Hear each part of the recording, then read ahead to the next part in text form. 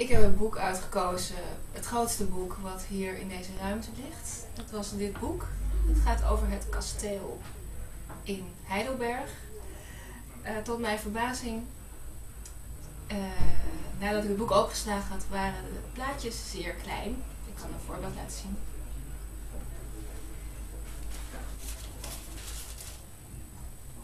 Dit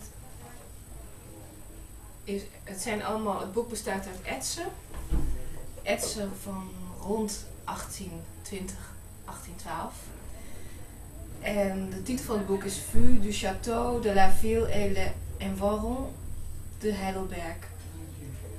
Um, de kleur spreekt me aan, rood.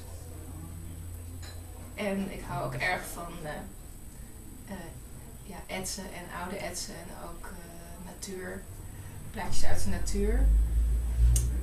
Moet zeggen dat ik. Uh, het is hier erg stoffig. Maar ik raad u allemaal aan om dit boek in te kijken.